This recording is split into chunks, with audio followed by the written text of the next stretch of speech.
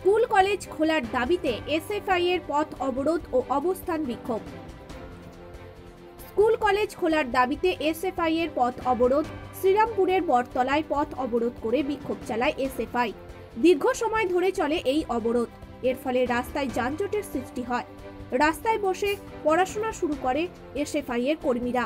ঘটনাস্থলে শ্রীরামপুর থানার পুলিশ এসে তর্কাতর্কি শুরু হয় বিক্ষোভকারীদের সঙ্গে ও উত্তেজনা পারদের মতো বাড়তে থাকে ঘটনাস্থলে।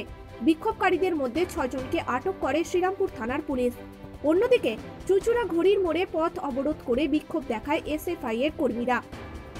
দীর্ঘ সময় ধরে অবরোধ চলার ফলে রাস্তায় যানজট তৈরি হয় ও ঘটনাস্থলে আসে স্থানীয় থানার পুলিশ। পাঠশালা খোলার দাবিতে রাজ্য সরকারের বিরুদ্ধে চলতে থাকে একের পর এক স্লোগান। পরে পুলিশের অনুরোধে অবরোধ তুলে নেয় বিক্ষোভকারীরা। এর পাশাপাশি আজ সারা রাজ্য জুড়ে এসএফআই এর পথ অবরোধ ও বিক্ষোভ কর্মসূচি পালন করে। অবশেষে এসএফআই এর আন্দোলনের চাপে পড়ে স্কুল কলেজ খোলার সিদ্ধান্ত নিতে বাধ্য হল রাজ্য সরকার।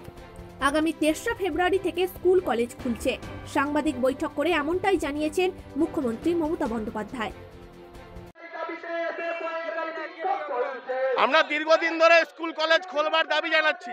আজকে শিক্ষাঙ্গন থেকে ছাত্রছাত্রীদেরকে দূরে সরিয়ে দিয়ে সেই পুরনো হীরক রাজার দেশের যে কথোপকথন, ওরা যত বেশি পড়ে, তত বেশি জানে, তত কম মানে।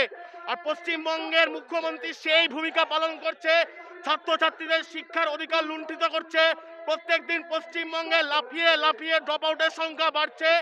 এমনকি টিউটোপিয়া, বাইজুদের মতো প্রাইভেট অ্যাপকে দিয়ে গরিব ছাত্রছাত্রীদের পড়বার অধিকারকে কেড়ে নিতে চাইছে রাজ্যের সরকার, তার বিরুদ্ধে দাঁড়িয়ে আমাদের পথ অবরোধ। আমার নাম অর্ণব দাস, আমি এসএফআই হুগলি জেলা কমিটির সভাপতি। হুগলি থেকে পাপ্পু সাদ্রার রিপোর্ট, টাইমস বাংলা।